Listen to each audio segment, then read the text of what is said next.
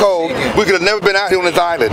And that's what we should be. We should concentrate on the zip code. And the Navy, they're one of the biggest culprits. They violate our federal right to know law about the environment where we live and the environment where we stay. Talk about the school. the school district. They want to put a charter school. Yeah. Okay. The, um, uh, the charter school there. My nephew stayed with me, and he got sick. Her daughter stayed. Uh, she went to that school, and she got sick. And they're trying to put that, that charter school out there with all the asbestos out there, all of the radiation out there, and they want to put the people out there as part of a punishment, like the learning center is for kids that at risk, you know, ones the judge and probation officer, they sentence them to the learning center. And, and in the meantime, they're getting radiation poison. It's, it's a shame how people sit around and care nothing about people getting radiation poison. My daughter, when she went to the first grade, she went to Treasure Island Elementary School, and the first day of school, she missed uh, she missed two weeks of school Um, because she had got really sick. She stopped there. eating and drinking, Um, and um, and she was real hot, had a lot of fever for two I weeks. And then she, I started went to the losing school, weight, and I didn't took her know back to school. I called the And school and told them that she was sick. then I went back to the school to take her to school, and the teacher said that all her whole class know didn't this. come to school for two weeks. So- Everybody in the whole class, uh, all grades from fifth, from, from kindergarten to the fifth grade, or they didn't come to school. The whole school was empty that week, right two weeks. That's a duplicate. Everybody was sick. She said all grades were sick. And, uh, Is that reported to the state? um, I don't know if it was. I doubt if it was. Because that's and then later on, before the year was out, the next year made me mad. uh, they closed the school down. never with his bro- My daughter didn't never go to was out of second the grade. She went to Leonard You Flynn. think that was they one of the do. reasons they closed I believe it was one of the, I believe it was one of the reasons why they closed it down. And my mom lost her life behind that radiation on Treasure Island. And so did Orlando's mom. She lost her life behind the radiation out there. But I'm still saying, we see them bring out, what, 10 bodies? Yeah. 10 bodies. At nighttime. At nighttime on Sturgeon. Yep. That's the biggest spot because that's the hottest spot to be on Sturgeon. I lived at 1406 Sturgeon, right by 1101 One Bigelow Bigelow Court. Court, and I seen three people die in that building on the downstairs. Usually, it was a, it's a handicap, the handicap apartment. Are on you top saying of, they, they built buildings atop uh, contaminated material? That- Yes, they did. Because Site 12 is where the housing is on. There's, I think, 31 sites out there. Yeah. But Site 12 was the incinerated pits for um, radioactive um, objects, paint, um, uh, whole mass stuff. They, they incinerated it. And they built the apartments over top. They thought the concrete would seal that radiation down. Uh, my name is Stanley Goff, attorney for uh, the class plaintiffs in this case against Treasure Island. And what exactly is this complaint saying? So the complaint is saying uh, that uh, certain entities or defendants in this case uh, uh, failed to disclose the, le- the the true levels of radiation that's on Treasure Island. And why didn't they not disclose this? Uh, it appears that they didn't disclose it because they didn't want to prevent or stop their financial interests from taking place. And what are you asking for? We're asking for two billion dollars. And the uh, there have been other uh, students uh, now they want to open up a charter school. Uh, what do you think about this whole development project at Treasure Island? I think that's a terrible idea. I think that uh, there's there's too much uh, radiation on that island. Uh, it has already been shown uh, through various uh, whistleblowers, and that to bring uh, to create a charter school on that island where uh, youth are going to be on there, I think that's putting a lot of youth at risk of, of, radiation poisoning. And your clients have said they've tried to reach out to uh, agencies, Cal OSHA, uh, federal agencies, state agencies, city agencies. Why have these agencies not responded? Well, it appears that there's some kind of collusion uh, taking place. Uh, we can't prove all of it yet, but as this, the case goes f- uh, uh, further, we'll be able to shed light on what's really uh, taking place. And what kind of harm have your patients had as far as illness? Well, from, from what I understand, what I've been told, uh, some of my clients have uh, uh, uh, numerous tumors, cancers, uh, uh, respiratory issues. Uh, people have died. People have lost kidneys, teeth, all, uh, a host of, of, of physically related issues that we believe are connected to the radiation contamination. And this has gone on for years out there? This has gone on for years, uh, but I believe that uh, the, the, the non-disclosure has taken place at least since 2006. So anybody that was on there from 2006 to the present, uh, they're victims. And also, there have been threats against your clients if that if they spoke out, they would be uh, removed from the island or evicted. What, what was that all about? Well, from what I understand, John Stewart being one of the defendants in this case, that was their uh, uh, main way of dealing with uh, people who were complaining. Uh, they would uh, come up with reasons to evict them to get them off the island. This is why we believe that John Stewart is also complicit in the non-disclosure of the radiation. And is it any accident that these are African American, poor African Americans who are in this situation at Treasure Island? I don't think so. I think that uh, historically, uh, people of color have been the guinea pigs or the ones who have been left to be exposed to uh, different environmental uh, contaminated areas uh, uh, so that certain entities can enrich their pockets. Hunters Point is one example, and there are other areas that we call Superfund sites in which people of color and poor people have been the, the main people that have suffered. So you're saying that it's because they were African American poor, they didn't really care what happened. It wouldn't happen in Pacific Heights or a, a richer area. I agree. And this, you think that they're going to fight this and, and, try to stop this lawsuit? Oh, I definitely think so. I think they're going to fight with every tooth and nail because it's historic. Uh, it, whether we, whether we, whether we're fully successful or not, this is this is a historical event that's taking place. To sue uh, the U.S. Navy, to sue officials from the U.S. Navy, to sue uh, the city and county of San Francisco, and to say that they have engaged in some kind of systematic exposure radiation to multiple or thousands of people. And you have an African American American mayor in San Francisco, London Breed.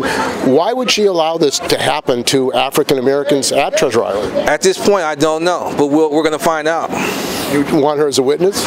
If we if we can, yes, that would be great. How many clients do you represent? Uh, right now, uh, I believe uh, we have about 45 people that are going to make up the class, but there's uh, potentially uh, thousands, maybe three, four thousand people that I believe will join. And many of these people have been sickened by the island. From what I understand, yes. And the U.S. Department of Labor, Cal OSHA, were they contacted? I believe they were. Um, numerous people that my clients they have contacted or reached out to these various entities to try to get some kind of help to no avail my cousin is Felicia Samples. She stayed at 1406 Sturgeon, and when she moved in in 2004, I helped her move in, me and my cousin.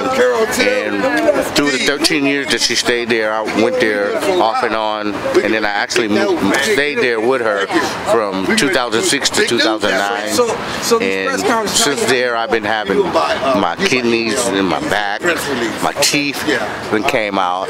So, so our teeth them fell out in little pieces, and I, I, I just been feeling sick. And my mom passed away August the 27th. Some symptoms from being on the island because when I was stayed there, she would spend the night sometime. I came to visit, and you know we just trying to get.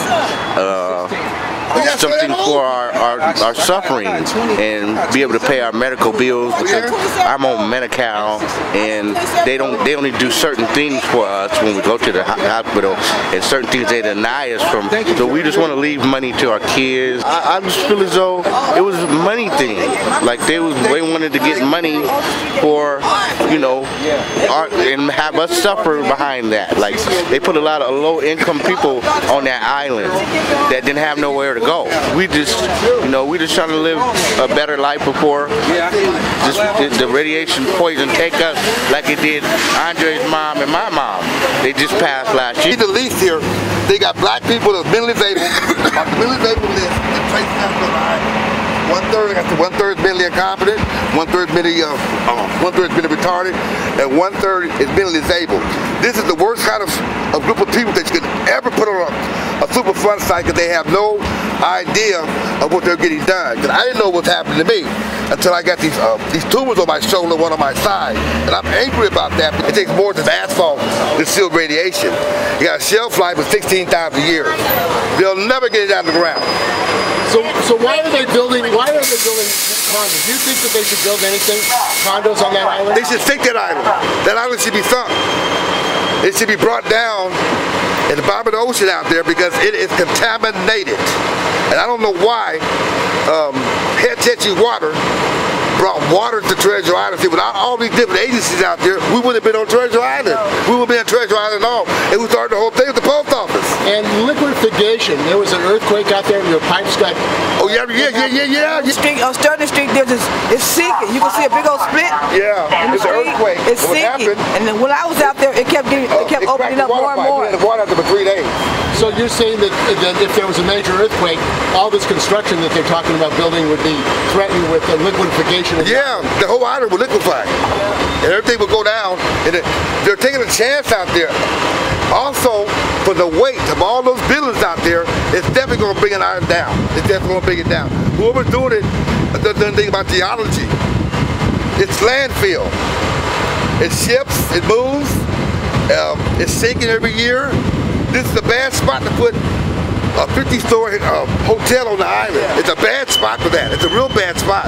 And then, see, in order for you to believe on, on Plus Care and HUD, there's got to be a community. The library, Unified School District, and the library, they they're they're uh, benefits too, because they provide a library service out there. The USDA, they have a food pantry out there. They provided us food on a contaminated site. All these things, they should have had us go get our food in town. They said, oh, we only go to the one on the island. 13 years. 13 years We moved in, I moved on there in 2004 and I moved off in 2017. I moved out there in 2004, moved to uh, 2017. Yeah, Some of the 2017. health issues that you're still experiencing. Yes, we still have. I'm still sick. Same thing. I'm It's- still it's sick. the same thing. Still nauseated. Still ha- super high blood pressure. I have an enlarged heart and I have nauseated. I'm always, you know, I'm always every day I'm nauseated. So Oh, I drink club soda now. And these are symptoms that you trace back to Yeah, some of the radiation. that's what I had. That's There's a radiation rash going around out there too. I have a radiation rash on my foot. All of them, all the ones I just named. And I was so nauseated where sometimes I, I, I was real, feeling real faint. I couldn't even walk. One day I was out here going to take care of some business out here down here, and I was fainting. I, I never fainted before. I, I never fainted with one time, but I'm just saying, not like this. I was nauseated and I was walking, uh, collapsing. One time I went to Subways down on what street on that off of Mason Subways, and we was on that little island right there, right? And I, got, I got- had to drink some orange juice because I was so nauseous. That was the only thing that made me feel better. And we were standing right there, in the and as soon as a, at, the, at the stoplight, like you know, at the stoplight, as soon as a car started coming, I fell like this, almost fell into the street, almost got killed by all them cars. If Andre hadn't been there, it was a crowd of people, a group of people, where everybody was scared. If Andre had to grab me, I wouldn't, be, I wouldn't be here today. And you too- from fainting from the, from the radiation from Treasure You live on site 12, right? Yes, all the houses Site 12. So when did construction start in site 12? Oh, they haven't started yet. They yet haven't started yet. because the buildings are still there. And then, and then they, they had buildings on 1101 Bigelow Court, where I showed you guys a map. Um, well, they they took they, they knocked the buildings down, and everybody on the island coughed for two weeks straight, all day and all night, Oh, non-stop. I've never experienced that. to I never, I At never 50 feet from where she that. stayed, less than 50 feet. Yeah, Can you just- like your like your like a house and your your backyard to the next door, the backyard behind you. That's how close my I, I was to 1101 Lita, Bigelow can you describe the rash on your foot? It's a it's like a purple rash, and it's always itching. Is It, it, is it goes away and it comes back. It goes away and it comes back. Is it like what the one that La Like La Crista has, yes. And Yes. when did that start happening? That happened to when I moved on Treasure Island. Yeah. Ah, on. Treasure. As soon as I moved on Treasure Island, I didn't know what it was, but now I know now, I realize that that's a radiation rash. Yes. I thought it was like a fungi or something like that, but it's a radiation rash. I think it could also be a chemical rash from PCBs. Yes, possible. That's possible. And I've I talked think so, to too. six other people that have a rash that look exactly the same. Like that veteran's leg. Yes. It all looks, That's what my does my it foot look like that? My foot still looks like looks like that. Yeah. Yes, it does. But I put like I put the cream or something on it, and it goes away and it comes back. And Pelosi and, and and uh, Mayor Breed, are you saying that they're all aware? Oh, they're aware. They're aware because when London Breed was the uh, was the president of the board of supervisors, uh, we tried to get Jane Kim to um, introduce legislation for us to get relocation, but like they did in Chinatown, they got two hundred thousand dollars apiece, and we contacted every all the board of supervisors, and they said they would be uh, they would be down if she brought legislation. So we sent all the evidence to everybody, and then when London Breed was running running for mayor, we talked to her again about the radiation. So it happens. She said she gonna she gonna hold people accountable for Yeah, driving. yes, she did. He's an examiner. She said he was going to hold accountable. After the press conference did up here, 450 Golden Gate Avenue, the same day, she put it in there she going to hold them accountable. But did she, but she didn't hold anybody accountable because she she let the Unified School District uh, build them dormitories out there. And this is what I'm saying is that she is part of the problem. I think we should get money together and recall her out of office. And that's Pelosi and and and, Kamala Harris and Gavin Newsom. He should be recalled as governor because he don't have any confidence these state agencies are going to do any None at all. None at all. None at all. I contacted the Department of Labor concerning the Job Corps. They told me why I, I mind my own business. After I told them the kids were getting sick out there, they said, well, uh, mind your own business. So this uh, this capacity had everybody that's involved with their mouth zipped shut. Department of Labor. That's who runs the Job Corps. Yes, and they said it was they said it was okay for them to be out there. Well, they're getting sick like everybody else is.